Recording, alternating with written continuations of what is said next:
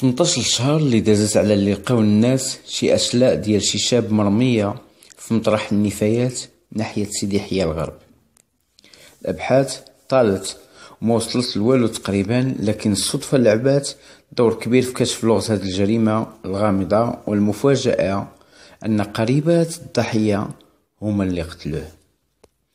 أربعة الخواتات وبنت وحدة فيهم وخوهم هما اللي مشتبه في القتل ديالهم ولد اختهم قطعوا راسو والأطراف ديالو رماوهم رماو الأشلاء في مطرح النفايات باش يتخلصوا من الجثة ومعالم الجريمة. ساعة الروح عزيزة عند الله وهما بانوا بعد 18 شهر على الجريمة. المتهمين ستة بهم تشدوا من طرف الفرقة المحلية للشرطة القضائية بالمفوضية الجهوية للأمن سيدي يحيى الغرب بالتنسيق مع ال BNPJ الفرقة الوطنية للشرطة القضائية في كازا وتحالوا الوكيل العام لدى محكمة الاستئناف في مدينة القنيطرة اللي حالهم على التحقيق. الخال والخالات وبنت واحدة فيهم وهما اللي قتلوا الضحية باش يصفيو الحسابات ديالهم مع الولد ولد اختهم والسبب هو الاتجار في المخدرات والقرقوبي صفاوها لولد اختهم على طمع الدنيا. شفتو فين وصل بنادم يقتل ويجهض الحق ديال الولد بسبب الحشيش والقرقوبي والربح من هذه التجارة الممنوعة 18 شهر دازت على اللي لقاو الأطراف ديال هاد الولد في المزبلة والمحققين ما وصلوا لوالو واخا التحقيقات تجرات كما الخبرات ودخول بزاف ديال المختبرات التقنية على هاد الخط حتى حاجة ما وصلت لشي خيط رابط يفضح اللي قتل الضحية اللي كان كيتلقب قيد الحياة ديالو بجماغي والعمر ديالو 36 عام تقريبا. هاد العائلة معروفة بالاتجار في الممنوعات المخدرات والقرقوبية وما جاورهما وحتى الوساطة في القوادة في القوادة عفوا والفساد والتحريض على الفساد والدعارة والضحية. كاين حاضر من دوار الرحاونة أدى ثمن حسابات شخصية مع خوالاته مع خوالاته وخالو اللي قتلوه بلا ما يرحموه أو يراعيو قرابة الدم. صدفة لعبت دور كبير في كشف الحقيقة ديال قتل الضحية. شي وحدة من الخوالات كانت شدات في شي ملف عنده علاقة بالرشوة. شي ملف كانوا مشدودين فيه شي بوليس بتهمة الارتشاء ومحال هذا الملف على قسم جرائم الأموال في الرباط. كانت هاد البنت مودعة في سجن العرجات بمدينة سلا وتبين أنها تصابت بأزمة نفسية من هذه شي عام ونص تقريبا. والسبب ديالها هو تبعات جريمة القتل ديال ولد اختها. هذه النقطة والبحث في أسباب الأزمة النفسية اللي تصابت بها المتهمة فضح الأمر والبحث بين أيضا أنها العقل المدبر لسيناريو قتل ولد أختها وشاركت خواتاتها الثلاث وحدة الأخريات عفوا وبنت وحدة فيهم وحتى خالهم. شاركتهم في قتل الشاب وتقطيع الجثة ديالو والرمي ديالها في مطرح النفايات. المتهمين ما خلو حتى أثر باش يدل أو ممكن يوصل لتشخيص الهوية ديالهم. والأغرب أنهم داروا شي وقفة احتجاجية وحشتوا الناس باش يحتجوا للمطالبة بالتحقيق والإسراع فيه باش يعرفوا شكون قتل ولد اختهم قتلوا الميت ومشاو في قناسو كما كيقولوا المغاربة وجندوا الناس باش يحتجوا.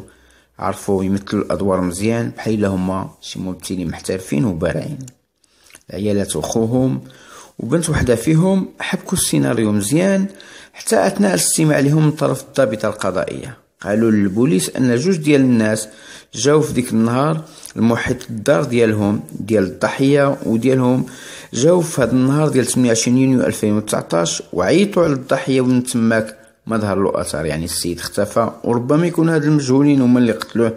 ساعة الحقيقة واحدة أخرى المهم بعدوا عليهم التهمة باش يمنعوا ساعة الروح عزيزة عند الله وشحال ما طال الزمان تبان ويبان القاتل أو القتالة الخواتات وخوهم وبنت واحدة فيهم طاحوا في يد البوليس بعد ثلاثة ديال السيمانات ملي تشد الشاف ديال la PJ والمساعدين ديالو في قبضة ال BNPJ ديال كازا. تشدوا بتهمة الارتشاء وأشياء واحدة أخرى ودابا راهم عند قاضي التحقيق لدى جرائم الأموال في الرباط بعد ما تبين أن المتهمة الرئيسية وهي خالة الضحية اللي مات ولقاو الجثة ديالو في الزبل أن هاد المتهمة في جريمة قتل ولد أختها كانت كتعطي الرشوة للبوليس باش يميكو عليها وعلى النشاط ديالها اللي كدير السيدة كانت كتبيع الحشيش والقرقوبي والشراب وكتدهن السير باش يسير ويميكو عليها البوليس قبل ما يطيح الشاف لا بيجي وجوج من المساعدين ديالو. هادو والمتهمة كما قلت تحالوا على قضية تحقيق المكلف بجرائم الأموال في المحكمة الاستئناف ديال الرباط وبعد ثلاثة ديال السيمانات وصل المحققون الأدلة على تورط هاد الخالة اللي متهمة في هذا الملف على التورط ديالها في قتل ولد خوها ولد اختها عفوا باش يتجدد البحث وتشدوا الخواتات وخوهم وبنت وحدة فيهم اللي نكروا في الأول لكن الأدلة بينات التورط ديالهم.